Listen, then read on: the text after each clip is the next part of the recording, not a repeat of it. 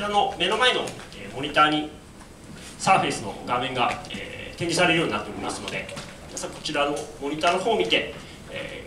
ー、いただければと思います。まずですねこう面白いのがポッと手を置きますとターミネーターのようですけれども手の形が取れます。ピクセルセンスの一つの魅力だと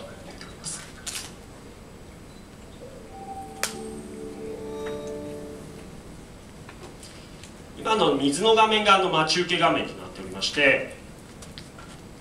サーフェスの OS の方に入っていきますとですねこういったメニューの画面が、え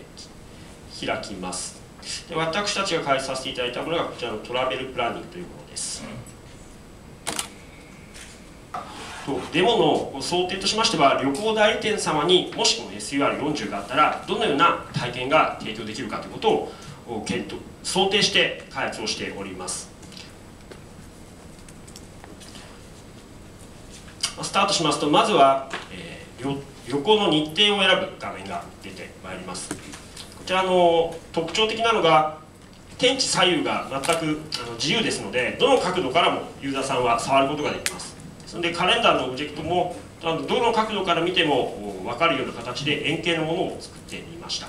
でスケジュールをセットしますと今選んだ日程が下のタイムラインでですね現れてくるような形でアプリケーションの方を開発しました。そしてですね。じゃ日程が決まったのでじゃ次に、え旅行先を決めましょうということでこちらの今回京都に行くつもりで、え、プレゼントデモンストレーションさせていただきます。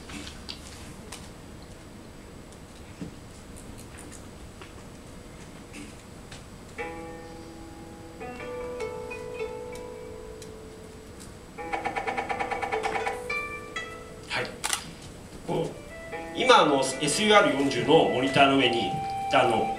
オブジェクトを置きました。でオブジェクトの裏にはタグといったものが貼り付いているんですけれども、まあ、今回は京都しか用意していませんが例えば九州ですとか奈良ですとかこうたくさん模型がある中で実際のものを選ぶことでアプリケーションの方に情報をインプットとする。そういった体験が実現できます。まあ、出てきましたのがこう京都の有名な料理とかですね観光名所ですね。例えば京都タワーです。こういったものを複数に友達同士ですとか家族ですとか、えー、恋人同士かもしれません。でこのテーブルの周りに集まってこう旅行の予定を立てていくようになります。例えば京都タワーにしましょう。京都タワーを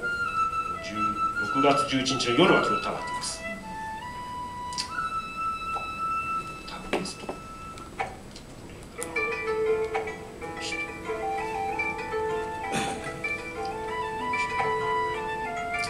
に行きます金閣寺。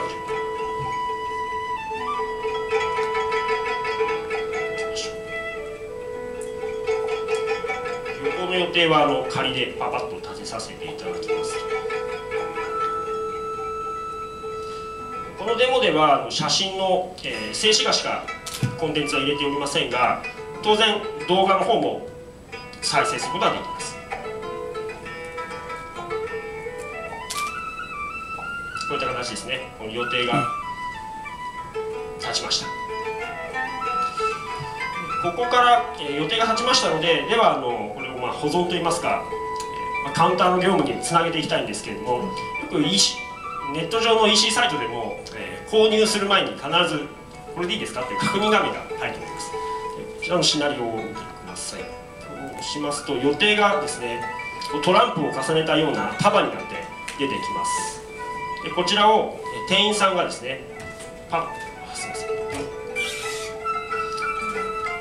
マジシャンのようにですねパッと開いてじゃこれでよろしいでしょうか。というような形で、えー、確認をするということをした、ちょっとこの京都タワーは外してこっちに変えましょうか。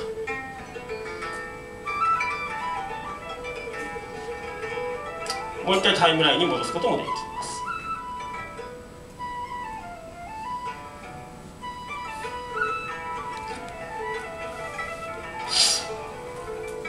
らのデモンストレーションですので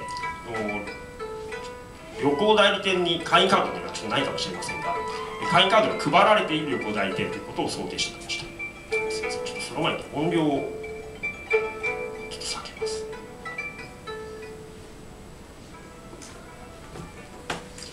会員カードに会員カードを画面上に置くとですね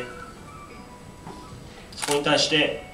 今立てた旅行の予定が保存されるということを検討しました。最後にメッセージが出てくる形ですね。でシナリオとしてはこちらの保存された会員カードをえカウンターに持って行ってでそちらで生産してください。ということを考